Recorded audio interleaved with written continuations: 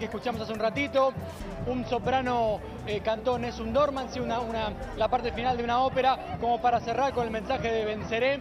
Y ahora va a suceder algo muy importante que le queremos preguntar a Diego Pascuale, que es uno de los productores organizadores de, este, esta protesta, así que si te parece, Edu, hablamos un poquito eh, con él para que nos detalle qué es lo que es, en principio, una reflexión sobre el acto, sobre esta manifestación y qué es lo que se viene ahora que van a llevar ahí a la Rosada. Buenas tardes, gracias.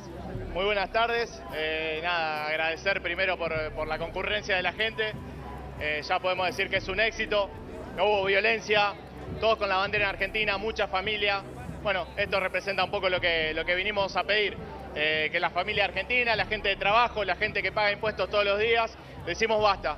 Con respecto a la propuesta que vos me decís, es, el proyecto de retenciones cero, que hemos trabajado eh, con varios abogados, contadores, los productores eh, autoconvocados, lo dimos, lo, elaboramos y se trata de un proyecto que de un día para otro se puede llevar a cabo y no desfinancia el gobierno porque cada productor que genere más eh, va a tener que pagar más impuestos a la ganancia como está establecido, como cualquier ciudadano. Seríamos tratados igual ante la ley y podríamos crecer mucho más rápido como los países vecinos Uruguay, Paraguay y Brasil. Ahora, Pascual, ¿le van a insistir con el pedido de inconstitucionalidad de las actuales retenciones?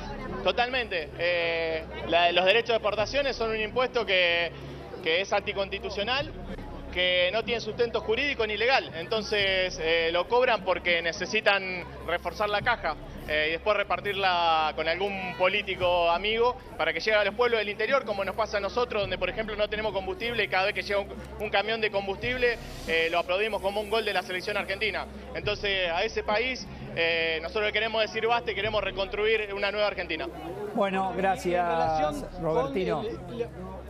Hacer, hacer la pregunta, hacer la pregunta, dale, dale, y vamos cerrando. No, no, sí, sí, sí, simplemente corrió para, para cerrar a que había una acción de amparo que les habían hecho lugar por el pedido que hizo la Sociedad Rural de Córdoba, ¿no? Para quedar justamente inconstitucional las retenciones. Sí, podías contarme en qué estaba eso ahora. Ah, es un trámite más eh, que, la justicia eh, da un paso, un paso, pero, pero como sabemos acá la burocracia argentina tiene, tiene estas cosas y, bueno, está, está muy demorado. Ojalá que, que se plantee lo más pronto posible, que el fallo salga lo más pronto posible para, para que los productores argentinos podamos salir adelante porque la estamos pasando muy mal. Edu, si para cerrar querés hacer una pregunta para Pascual. Sí, cómo no, cómo no. ¿Qué tal Diego Eduardo Serenelini? ¿Qué tal? Buenas tardes. Eh, ¿Tienen información de concentración en distintas ciudades de provincia, más allá de lo que ocurrió aquí en la ciudad de Buenos Aires? No, no, eh, un gusto hablar con ustedes. Eh, no, no, otra concentración no, no, no creemos, o si se hizo fue espontánea, eh, acompañando el reclamo la gente que no pudo llegar a la ciudad, pero, pero no, no fue organizada por nosotros. Bueno, pero a ver, más allá de la organización, es lo espontáneo de todo lo que está ocurriendo, ¿no? Este, a eso me refiero, Diego. Sí, Sí, sí, no, esto, con respecto a eso, esto es el, punto de partida, ¿no? Hoy la, convocatoria ha superado ampliamente las expectativas y seguramente eh, en un futuro no muy lejano eh, estaremos, estaremos haciendo lo mismo en, algún otro punto del país porque somos un país federal eh, y tenemos productores representativos de, todas las provincias y, y, gente que trabaja, no somos solamente los productores, ¿no? Está claro. Gracias Diego, gracias por el trabajo, hasta luego, muchas gracias. Gracias, gracias, eh, gracias. gracias. Eh, contame, eh, ¿hay información? Yo lo que leo en las redes que la gente se fue concentrando en distintas ciudades, en provincias. Sí, hay, hay concentraciones pero espontáneas. Hubo algunas en Córdoba, en el sur de Córdoba, donde el reclamo estaba muy fuerte, todo lo que es este Río Yo considero que todo esto es espontáneo, en definitiva. bueno, pero esto tiene una cierta organización que estaba la Fundación Liberal y también Campo Más Ciudad. Eso gestionó, digamos, hace un mes este tractorazo y la gente se fue sumando y después cada rural hizo su trabajo. Porque la necesidad está, entonces se van sumando unos y otros. Déjame que te aporte algo respecto del proyecto de retenciones cero que van a presentar al gobierno. Bueno, hoy realmente es una cosa que no va a tener eh, ah. posibilidad de, tener su curso normal. Es inviable porque el gobierno está convencido que los 11 mil millones de dólares que aporta el agro y que va a aportar este año mm. son fundamentales para financiar al Estado. Prepárate, Jerónimo, ¿eh? ya voy con vos hacia la plaza. Sí, Eduardo. Sí, mm. yo te quiero decir mm. que la gente tiene la posibilidad de terminar con este estado de cosas. Mm. Tiene la fórmula que es manifestarse y fundamentalmente el voto. Que vote cuando se termine este mandato que vote con raciocinio, para que no pueda seguir un populismo que se está en demérito de todos. Bueno, yo insisto, muchos de los que están ahí votaron porque el otro no me gustó, votaron este gobierno. Y ahora lo tenemos que bancar todos. O sea que eso también autocrítica debe haber. Sí, te escucho, Jerónimo, adelante. Vamos a otra de las bueno, Bueno, y a medida que van desconcentrando los manifestantes, vamos, vamos a hablar con ellos, ¿no? Porque, bueno, han venido de todas partes, ¿eh? Vamos a charlar con eh, ustedes. ¿Qué tal? Buenas tardes. ¿De dónde, ¿De dónde vinieron? Desde La Matanza. Ajá. ¿Y por qué? Bueno, básicamente porque nosotros en La Matanza... En la, en La Matanza también tenemos campo, aunque se desconozca. La Matanza no es solamente el fondo de la capital, es la entrada a la cuenca del Salado, es la entrada al interior productivo de Buenos Aires. Nosotros tenemos producción de soja, tenemos tambo, tenemos kiwi, tenemos 12.000 hectáreas rurales. La Matanza no está tan lejos de la realidad del campo.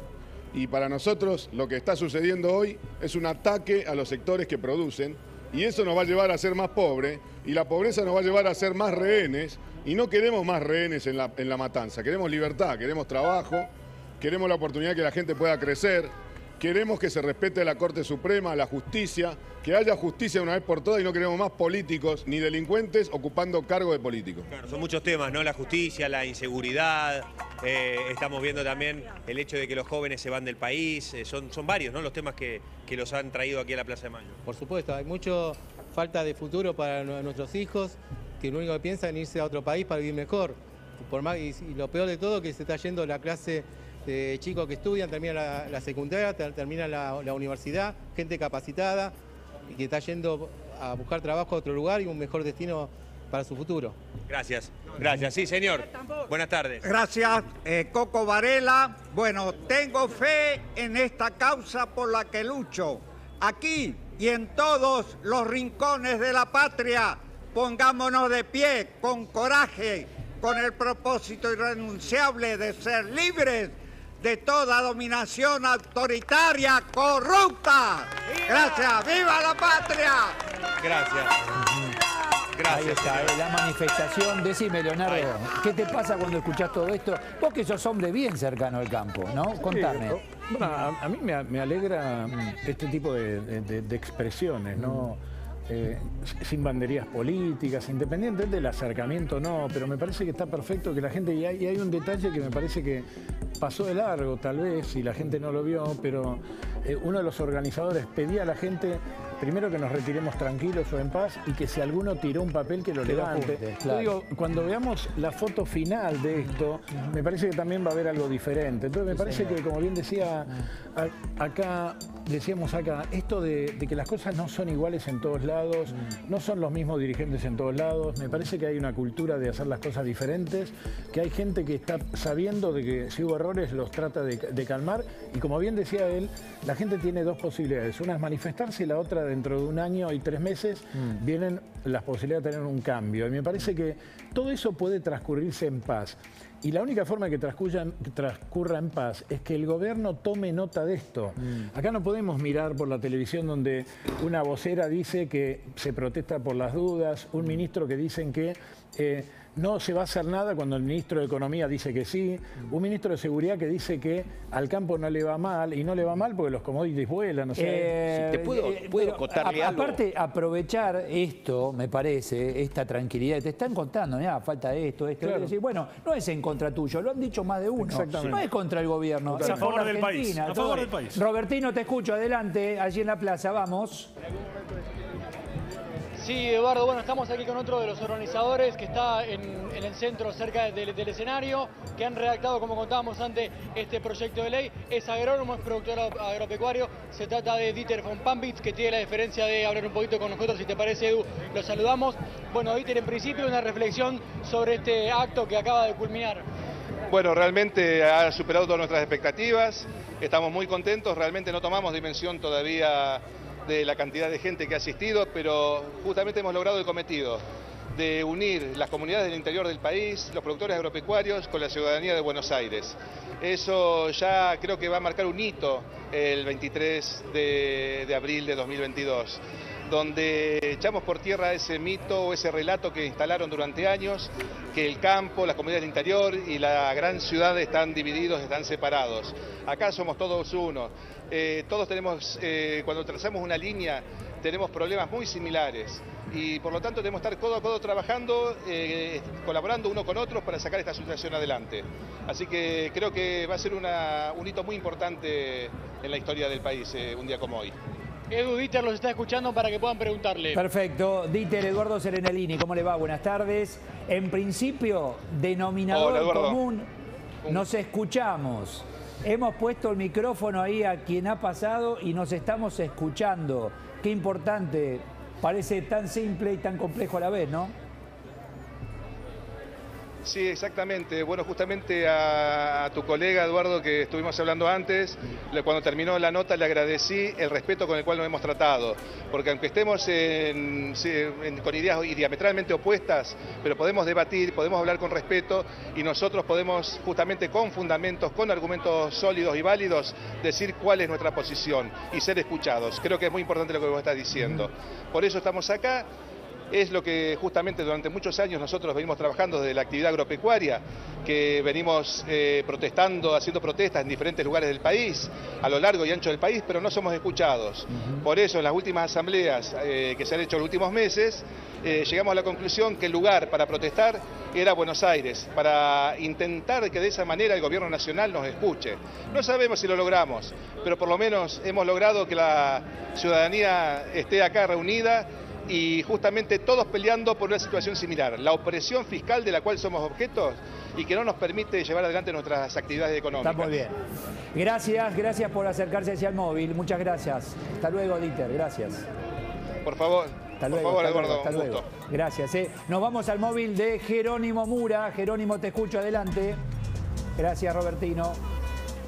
Bueno, y vamos a mostrarles ya la desconcentración eh, que se da aquí frente al Cabildo, los autos que, bueno, de a poco van cargando lo que es la Avenida de Mayo, diagonal, en lo que es esta desconcentración masiva, ¿no? Porque así como veíamos la imagen de la caravana llegando a la Plaza de Mayo, ahora con esta desconcentración es algo similar. Gente que se dirige al interior del país, no solo aquí a la ciudad de Buenos Aires, porque han venido de todos lados, esto ya lo hemos repasado, lo hemos mostrado, la gente que cada uno ha venido con, con su reclamo. ¿eh? Hay que entender que el reclamo central pasa por el apoyo al campo en, lo que es eh, los altísimos impuestos que tiene, ¿no? Pero bueno, veíamos tema justicia, tema inseguridad, eh, muchos con la constitución en la mano, mucha gente que, que ha venido desde temprano aquí a manifestarse a la Plaza de Mayo, jóvenes, adultos, familias enteras. Señor, buenas tardes. ¿Cómo está usted? Buenas tardes. Bueno, cuénteme por qué ha acercado. Primero que nada, porque tenemos que agradecerle a toda la gente que trabaja por sacar el país adelante. Ellos se esfuerzan todos los días, feriado, festivo, lo que sea, por trabajar y por sacar adelante, porque la naturaleza es un ciclo que no lo puede parar usted. Y el gobierno, en lugar de apoyarlo, ¿en qué aspecto? Bajándole los impuestos porque con eso se duplicaría la producción del país. Gracias, Jerónimo. La gente confiaría, invertiría más y tendríamos una producción mucho mayor y beneficio para todo el país. Muchas este gobierno tiene eh. que comprender esto, se lo digo yo como chileno. Hace 45 años que vivo acá, he escuchado muchas veces la Argentina potencia y todo. Créanme, es lo mejor que pueden hacer. Gracias.